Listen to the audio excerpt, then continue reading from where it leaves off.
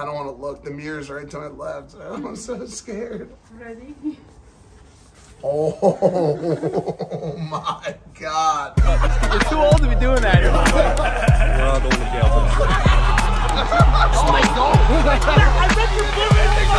Mike sucks ass, so it's amazing to watch him. All right, welcome back to the night shift, ladies and gentlemen. You're working late, and so are we. It's time to clock in. We are currently still in Amsterdam. Schiphol International Airport should be called International Airport. Never seen anything like this before. Tents outside with hundreds of people lined up. We're standing there. I'm like, dude, we're gonna miss this flight. Basically crying because we're gonna get stuck in fucking Amsterdam. And I hear Mike, and I look up, bro, and there's this burly ass tattooed boarding call for all passengers traveling on the Alta giant tattooed fucking customs guy with the gun and everything. He goes, he goes, come here. And I'm like, oh shit, dude, I'm going to jail for the rest of my fucking life. I'm going to prison, dude. And he goes, I'm a huge fan of the night shift. He goes, you do not wait in line in the Amsterdam. Fucking pushes us through the customs. Here we are. We're flying to Turkey, Istanbul. Currently in business class on Turkish Airlines. And look who I see. Somehow in a pretty expensive business class cabin. Balenciaga bag, first class to Istanbul. What do you guys think of this more Emma Chamberlain style content? Do you like this like calm, relaxing music? seems a little, seems a little downtrodden. You probably wondered for a long time why does Mike always wear the hat? My hair is thinning. I'll be completely honest. I could have spent fucking twenty, thirty thousand dollars like everybody else does to do in LA. I'm getting my whole shit done like in the back and a little bit in the front for like two two thousand dollars US. When we got to the airport, they were gonna send us to the hotel in like a shared car. I'm like, dude, like how much for you to drive us for the entire night. He told us it was like 1700 Turkish lira and we did the math and it was $100. So now we have the Sprinter for the whole night. As a first impression of Turkey, I like that a lot. Doing David's favorite thing in the whole world right now, bo- it's called bopping. I've talked about this before. He likes to bop early in the morning. He has coffees, he walks around. Tonight I'm bopping with them. The Greeks say they invented it. The Turks say they invented it. And it's like this huge battle. But if you've never had baklava, dude, you have to have baklava. It is so good. Look at all these different flavors. Different Look at those guys right there. It's like 9:45. It's a pretty late city. It's a Monday night. People are still cooking right now. But I just want to warn you right now that it's not a picture. Oh, it's for your vlog, Yes, for the vlog, for the vlog. She started posing like it was a picture. So with some real independent women right now Yes. who have been getting in trouble all day because of how they're dressed, by the way. David, get up close. Thi- This is, I don't know any of this stuff. Is. The last time you were on it, we were also in another foreign We place. were in France. In Saint Saint Tropez. Tropez. Crystal's about to shoot some booty pics with David. Say what's up, Crystal. Hey guys. You've actually been on a lot of night shifts. They're gonna start thinking that something's going on here. There's something important I want to talk to you guys about tonight, and I don't really know how to say it exactly, so I'm just gonna go ahead and say it. Right now, we are driving to Asia. I'm not kidding. We're driving in a fucking tunnel to fucking Asia. I've said, I, yes, I've said that. So if you're watching this right now and you think that it's not possible to drive under an ocean between Europe and Asia, you're wrong. Dude, I'll show you right now, dude. Look what David is doing as he films. He's sniffing fucking glue, bro.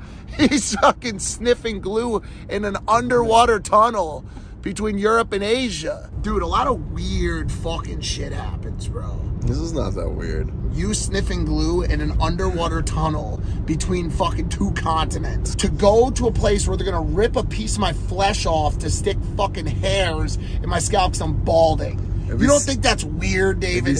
What do you think is weird? Enes doesn't understand any English. Me and him have only communicated through Google Translate the entire time. Bugün harika bir iş çıkardın Enes. Çok teşekkür ederim gerçekten takdir ediyorum. İşte hizmetiniz için küçük bir şey. Çarşamba günü görüşürüz. Okay. Take. I'll see you on Wednesday. Wednesday. Yes. Okay. Okay. Here we are, hair surgery day. We're in the van right now on the way from the hotel with someone who just had the surgery done yesterday. We're not going to show him, obviously. And he said the main thing that hurts the most is the anesthesia. So they like jam needles into your head to like kind of make your whole head numb. 10 minutes of it. Were you like, ah, that, that kind of pain, like screaming or no? Screaming. Yeah. Me and Dave were just talking about this. We're kind of in like a send it mentality right now. Like, I don't know why. I think it might be. I think I'm going through like a midlife crisis because like I just don't give a shit. The other thing is I'm gonna try to negotiate my a brand deal with them when we get there because I don't really want to talk about, about the name of the facility unless they pay me. Maybe you'll find out where I went, maybe you won't. Depends on how good of a negotiator I am this morning.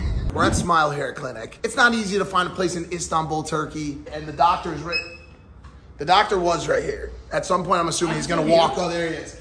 I meet this guy. The first thing he says to me is, "What did you say to me?" It's Adam Sandler. I think It is it's Adam twin Sandler. brother. How many of these hair surgeries have you done? It's mo- around 3,000 already. Are you guys like the champions of the of the Istanbul hair scene? Not the champions, but I think we are good team. You got a humble, a humble doctor over here. Who's the best barber?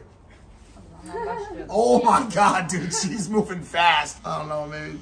Dude, she just didn't even care at all, bro. Tell her to give me a good lineup. Can you tell her to give me a fade? I don't, I don't speak Turkish. Oh no. Dude, my barber's gonna be so mad. Could you show her a picture of Drake? Tell her to go to like a one here, then like a half, and like really blend it I in. don't, I don't think that's what she does. My head is cold already. You're gonna, you're gonna feel the breeze around. Ma'am, have you ever seen Drake? Do you know what Drake looks like? Where he has like the. Drake tanıyor musun? No. Okay, can we? How about Adam Sandler? Why are you laughing, David? It's very interesting. You have a small head. No, don't tell me I have a small head, so I don't look like Vin Diesel. I see Greg Paul coming out. Greg Paul. you have a good head shape. Really, it's not bad. I don't want to look. The mirror's right to my left. I'm so scared. Ready? Oh my god. Okay, so just like imagine a bunch of like surgery and like bloody stuff that I can't show you on YouTube going right here. 93% male audience watching this. I know you guys are gonna deal with this shit at some point or another. Probably 10 years ago, I started getting thin in the back. Not like crazy, not like bald, not skin, but thin. This seemed like a good solution. I wanted to go to Turkey, I wanted to see the country, and I wanted to try something that I think that most people out there who are working can afford at some point. It's not super expensive. They do basically your whole fucking head for $2,000. That includes the hotels, it includes everything. As far as the actual surgery is concerned, the anesthesia is painful. They stick a full needle into your fucking head in different spots. Then they go and actually pull the hairs out from the donor area. So I got 4,500 grafts done. So they individually pulled out 4,500 fucking hairs from my head. Then they go and cut 4,500 little incisions in your scalp, and then they stick 4,500 hairs individually into those holes. Anybody that you've ever seen do it, this is how they do it. It takes a long time, but the results are pretty good and it's super worth it. The only thing that kind of sucks is now I'm wearing this fucking ridiculous fucking helmet around. Uh, day one after surgery, I'm already back out on the streets, dude, eating baklava. Right now we're in a place called Taksim Square. Big Turkish flags blowing. There's a lot of like shops and stuff. David called it like the Times Square of Turkey. I actually don't know if that's true. He might be lying to you guys. I'm at this lounge right now. Uh, we got the fruit infused hookah, the watermelon juice. Look, look at the view. Show them the view. It is a beautiful, beautiful city. A great place, a great culture. If you ever want to, it's getting a little harsh. You might have to. you might have to change the rock. And trust me, I know all about smoking rock. Now you're making the experience horrible.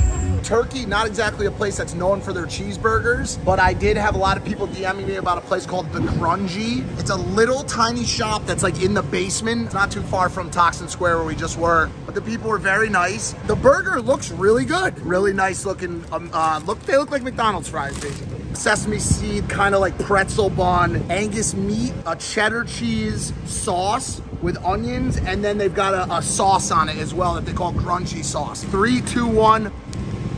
It's very good. Way different than what we're used to on this channel. Not smashed. It's more of like an artisan burger. As you can tell, this bun is like really thick. The meat tastes really good. The sauce is delicious. It's like got a sweet, zesty taste to it. Very McDonald's-esque fries.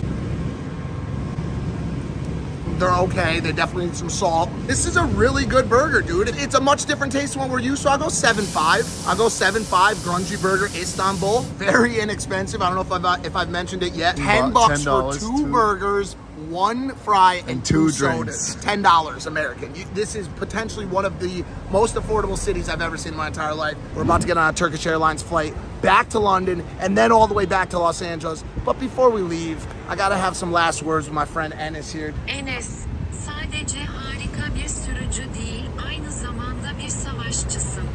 Türkiye'yi harika bir şekilde temsil ediyorsunuz ve Amerika'dan size teşekkür ediyorum. 2000 lira dediğini biliyorum ama burada senin için biraz fazladan var. Umarım artık kardeşim olduğun için iletişimde kalabiliriz. Evet. Thank you, brother. Thank you. You're a great man. Thank you, Ennis. Thank you, Avi. Ennis. Thank you, Thank Avi. you, Avi. All right, guys, I'm back in Los Angeles now. Also, I should say this. I am dressed like Mr. Clean right now because George made me dress like Mr. Clean for a very fucking strange segment of his vlog, which is available over on his channel. It's been three weeks since I had the, this hair surgery. I wanted to let it grow out a little bit to show you guys what it looks like. It's already starting to fill in. Hair's coming back. I have no pain whatsoever. Um, evidently, some of the the transplants are gonna fall out, if not all of them. It's this thing called shock loss. It happens and then the, the real ones grow in. It's been fantastic. There haven't been any complications. It's been really easy to, to take care of, to wash, to do everything. If you click the link in the description below, there's a link to the Smile Hair Clinic uh, request line to their WhatsApp. It will also give you 100 euros off their already ridiculously low pricing. I know a lot of you guys out there are thinking about doing the surgery. As soon as I started talking about it, people started hitting me up left and right about it. So if you have any interest in doing the procedure, learning more, uh, going to Istanbul, getting it done right and cheap, click the link in the description. Next week, we'll be back with an all new night shift episode that isn't about uh, getting hair implants. Uh, thank you so much for joining us for this wild fucking journey. I'll see you guys on next week's episode. Thanks for working late with us. We're clocking out. Peace. Yeah, so this is my last 28 days. Male audience is 90, 92.4%. Female audience 7.3%. So all of these people are going bald. Yeah, literally, like if you were looking for someone that was like a good hair loss ambassador, I might be the number one person, dude. Literally, bro. I know all you guys are watching Andrew Tate right now on, on TikTok. Make no mistake, Andrew Tate is getting money, but is Andrew Tate getting real shmoney shit? So one of those is five bucks. Five bucks. Each one of these is five bucks. When we get to the hotel, uh, scratch that. When we get to Asia, I'll actually present Enes with his tip. Fuck it, dude. I'll go crazy. Give him 600 lira. What do you think he'll do if I give him 600 That's lira? thirty bucks. Probably call his boss, go to work tomorrow, smack the shit out of him and say, I retire. I no longer have to fucking work for you, scumbag. Dude, Enes is gonna be the new Andrew Tate of Istanbul. He's gonna start a TikTok channel.